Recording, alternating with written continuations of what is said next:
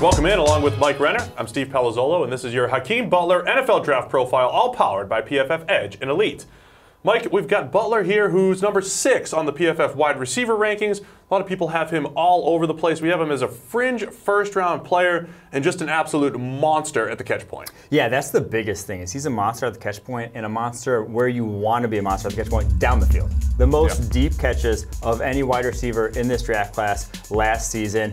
He could absolutely moss smaller cornerbacks and the 20 plus yard throws, the go balls a lot of times is just the ball tracking ability to position himself and then come in with the football is something that we think is going to translate at the next level. That's what tantalizes you. That high level play, he has more of those than pretty much anyone in this class. Yeah, he kind of flashed a little bit in 2017, caught my eye with pretty good movement skills for a guy that's about 6'5", 230. And then the production last year, just fantastic, 3.28 yards per route. That was number seven in the draft class. You mentioned all of the deep receiving yards. Uh, 721, you know, led the entire draft class. Mm-hmm. Uh, some of the question marks, though, just the natural shiftiness in and out of breaks. In today's NFL, where separation truly is king, you know, is he lacking in that area and too reliant on his ability to just win at the catch point? Yeah, that is the biggest question. Only 60 catches. You know, he was top 10 in terms of the draft class in terms of total yardage, but it all came on 60 catches because his route tree, basically where he won, was just down the field. The intermediate range, he struggled to consistently separate.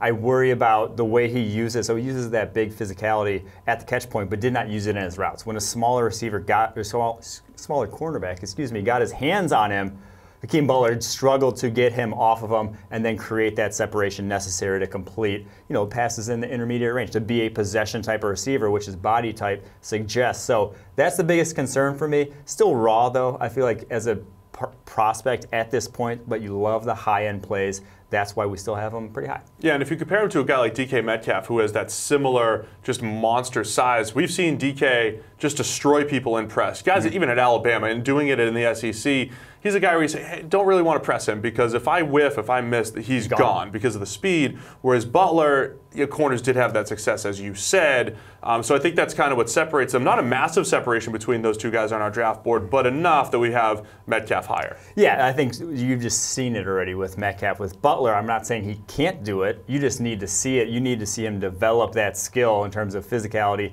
being able to create that separation at the line of scrimmage with his body. He's never going to do it athletically. It's just at that size, it's going to be difficult for him to do it just purely off of speed, quickness. But with that size, use it better on his full route tree. Then we'll see a more complete receiver. And then the drops, you got to bring him up. 12 drops last season. A lot of them concentration, though. I still like the way he tracks the ball down the field. Yes, 17 drops if you go back two seasons on mm-hmm. only 100 with, with 101 catches. So um, something he needs to clean up. So there are things to clean up in Hakeem Butler's game. Again, we have him as an early second round player if he ends up in the first round perfectly fine with it because of his big size. It's your Hakeem Butler NFL Draft Profile, all powered by PFF Edge and Elite.